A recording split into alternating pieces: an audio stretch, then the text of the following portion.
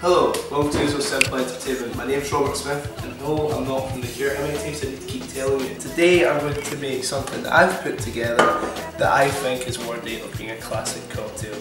And I've decided to call it the Mexican Garden. So the first thing I'm going to do, is similar to the mojito, we're going to start by adding some mint leaves.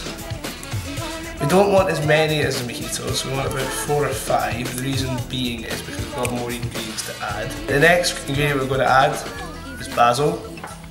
I put in about five or six of them. Two slices of cucumber. We're going to add lime.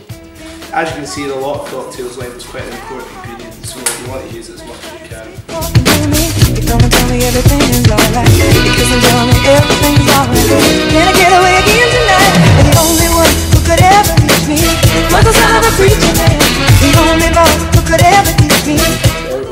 To add one shot of tequila.